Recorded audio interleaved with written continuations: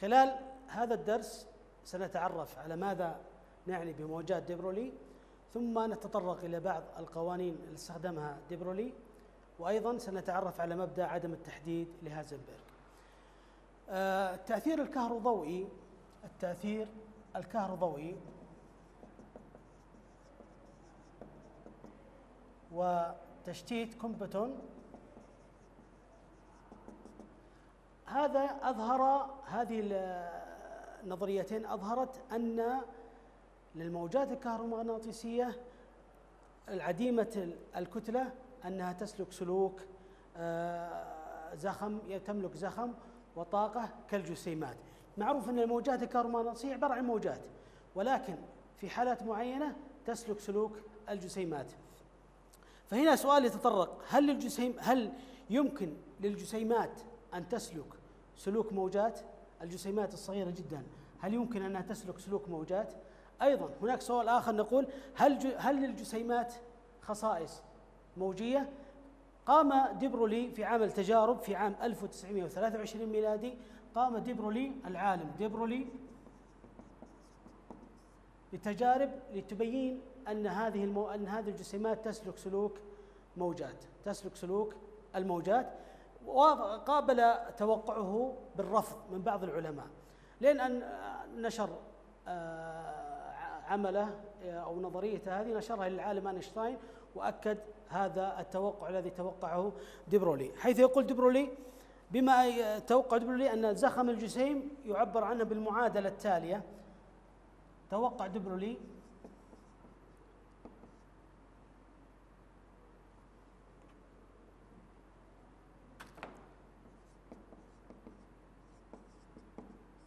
توقع دبرلي يقول أن أن زخم الجسيم يعبر عنه بالمعادلة التالية.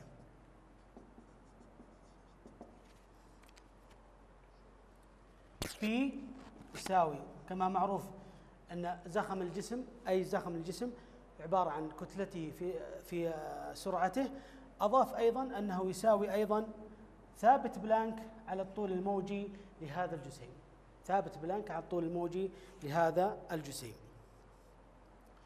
فجمع قال ديبرولي بما أن زخم الجسم يساوي m في v وزخم الفوتون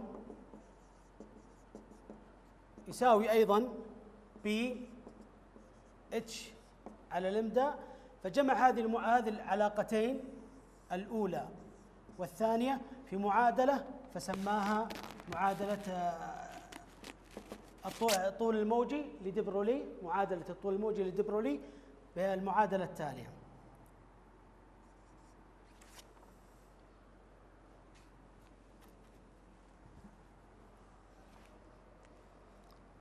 ثابت بلانك على الزخم يساوي ثابت بلانك على كتلة الجسيم في سرعته.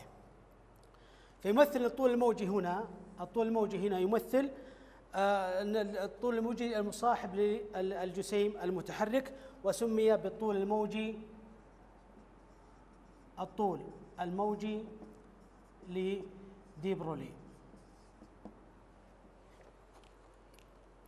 اعتمادا على نظرية ديبرولي ينبغي أن تظهر الجسيمات مثل الإلكترونات والفوتونات خصائص موجية. أن الإلكترونات والفوتونات بناء على نظرية ديبرولي يجب أن تملك آه، أن الإلكترونات والفوتونات تملك خصائص موجية. طيب نأخذ مثال على ذلك. مثال. عندنا كرة مضرب كتلتها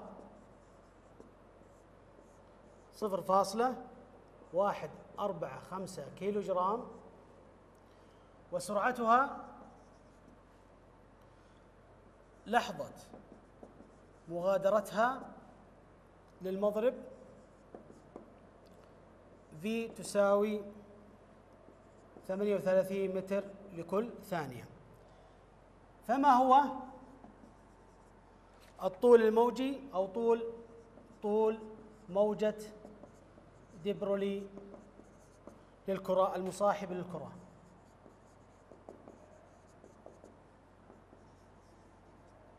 من خلال على من خلال المعطيات اللي موجودة عندنا أمامنا هنا عندنا الكتلة موجودة كتلة الجسيم أو كتلة عفوا المضرب وعندنا سرعتها التي انطلقت.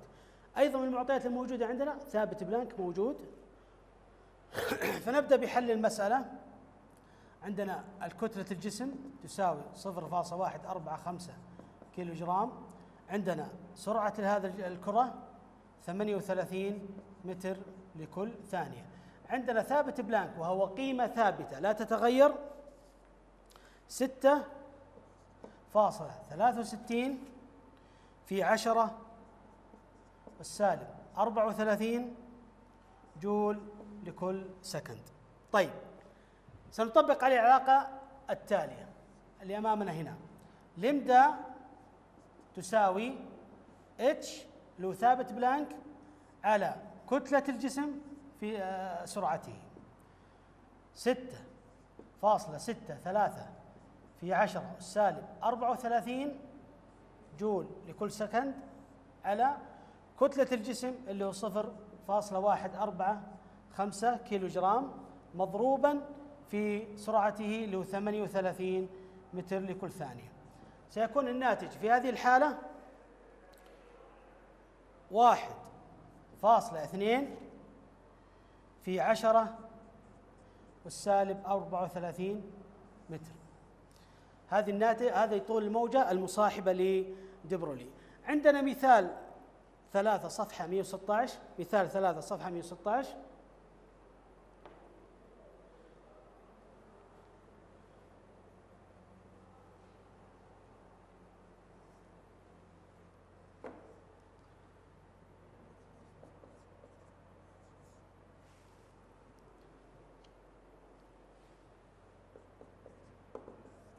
مثال ثلاثة صاد 116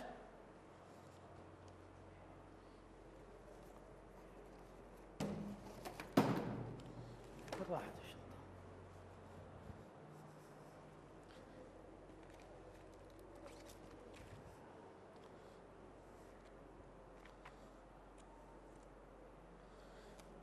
يقول هذا المثال إذا تسارع إلكترون خلال فرق جهد 75 فولت فما مقدار طول موجة ديبرولي المصاحبة له. عندنا هنا هذا المثال. يقول عندنا هنا لوحين. الموجب والسالب.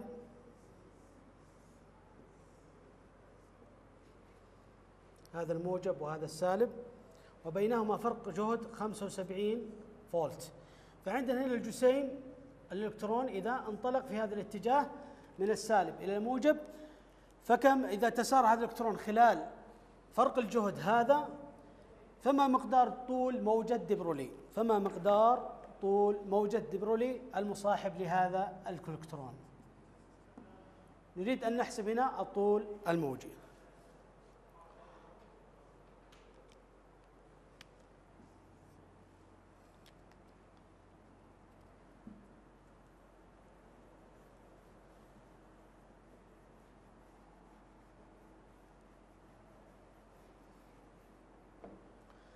طريقة الحل ستكون من خلال معرفة الطاقة الحركية للإلكترون بدلالة فرق الجهد KE تساوي ناقص q في فرق الجهد والعلاقة الرياضية الطاقة الحركية في بدلالة الحركة اللي نص m v تربيع.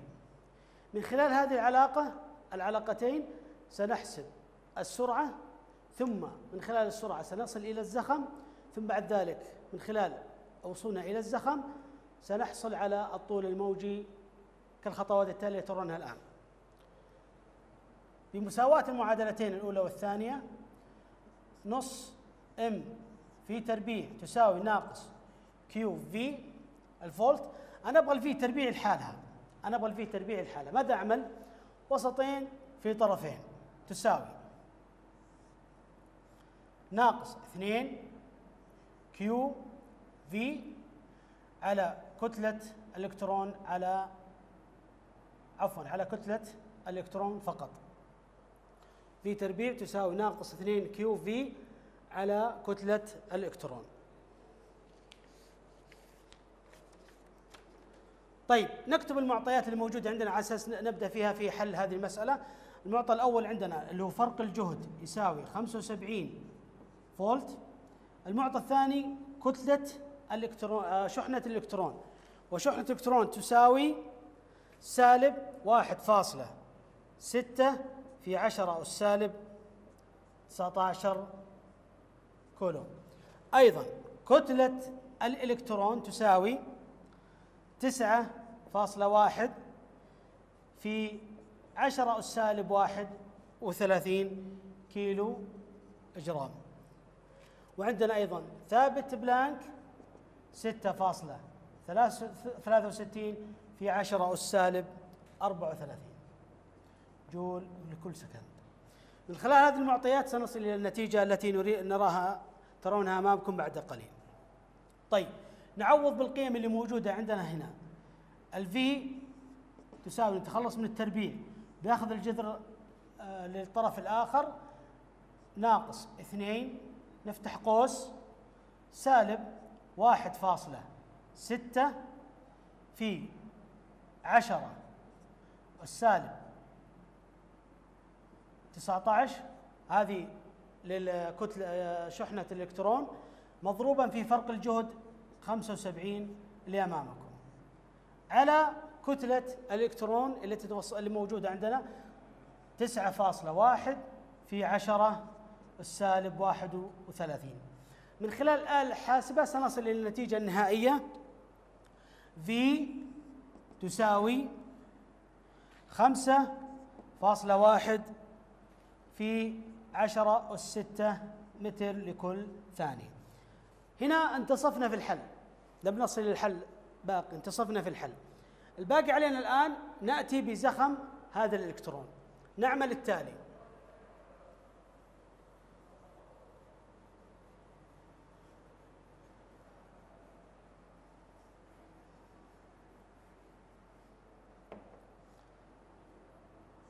الزخم الإلكترون يساوي كتلته في في سرعة الإلكترون. نعوض. الكتلة كتلة الإلكترون كما ترون عندكم في السبورة تسعة فاصلة واحد في عشرة السالب واحد وثلاثين. مضروبا في السرعة التي وصلنا لها من الخطوة السابقة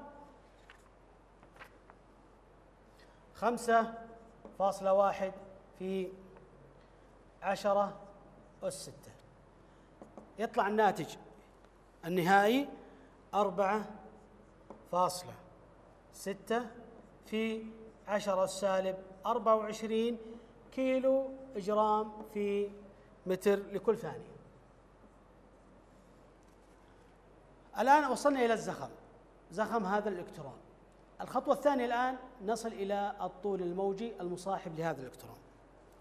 من خلال العلاقة اللي توصلنا لها في البداية لمدا يساوي ثابت بلانك على ما أعطانا إلا معطى واحد فقط في السؤال. من اللوحة